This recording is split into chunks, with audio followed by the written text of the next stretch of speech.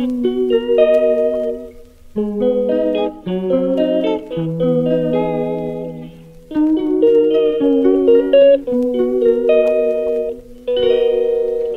calls me day and night. I'm sorry, girl, you just don't make me feel right.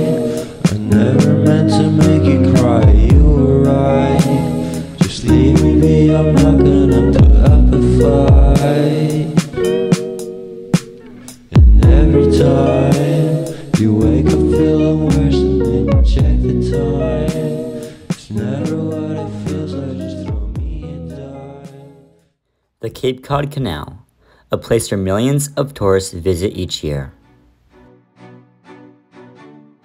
This canal was built in 1909 primarily to shorten the distance to pass the Cape.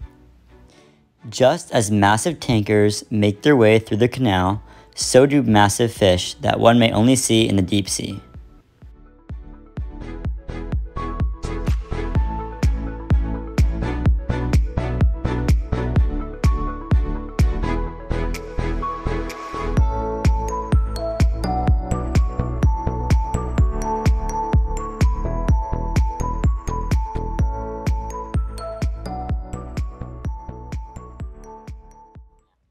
The most popular fish that swim through the canal are tautog, black sea bass, scup, bluefish, and the highly sought after striped bass. As many anglers make their way down to the Cape Cod Canal each year for striper season, tensions grow higher.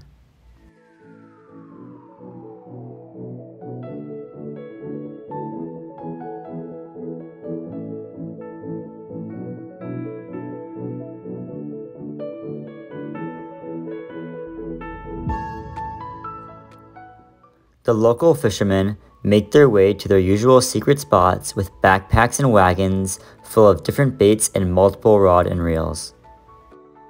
It is extremely hard to fish the Cape Cod Canal. There are extreme tides that push your line to one end before you ever hit bottom, even with using 6 ounces of weight.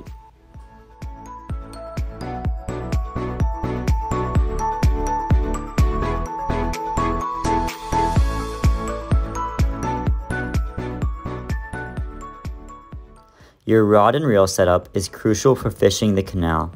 One has to have a high-speed reel with a strong rod in order to be able to keep up with the canal tides.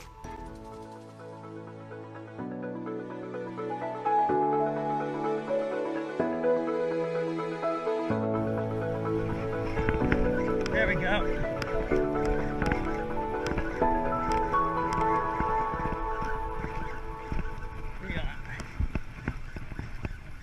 Here we go.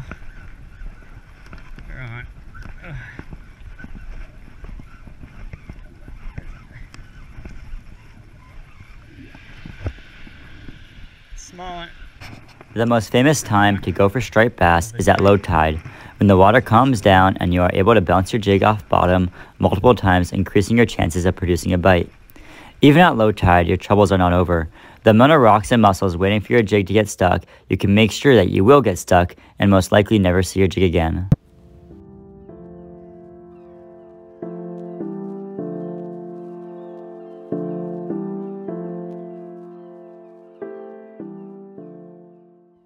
As you all know by now, fishing for stripers is not an easy task. But to only make it worse, the striped bass are more likely to eat in early morning and late at night. As for the local anglers, it is not extremely hard for them to wake up at 5 a.m. and be on the water at 5:15. As for me, a Massachusetts native who lives an hour away, being at the Cape Cod Canal early in the morning is extremely hard. You are sacrificing a good night's sleep to only hope to catch one fish.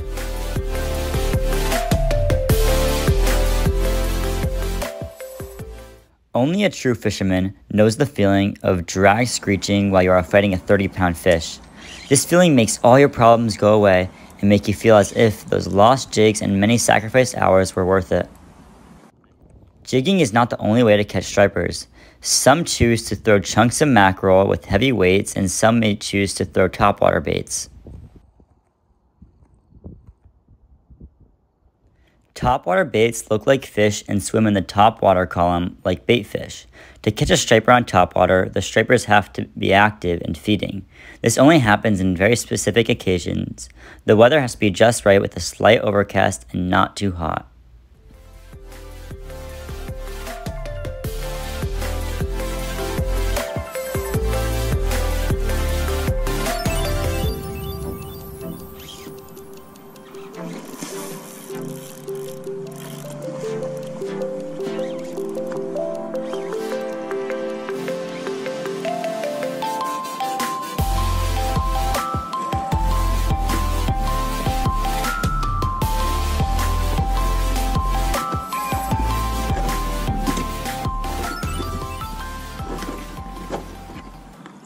The striper season can vary from being a really good one year to the worst fishing ever the next.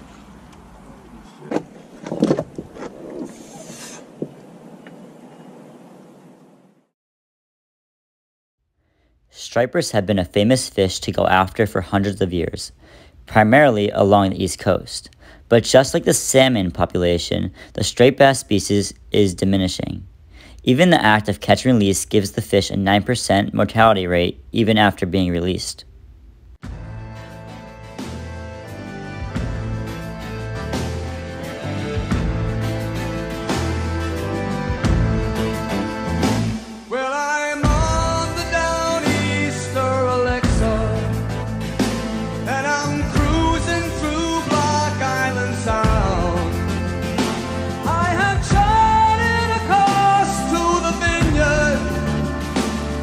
Tonight I am bound. We took on diesel back in Montauk yesterday.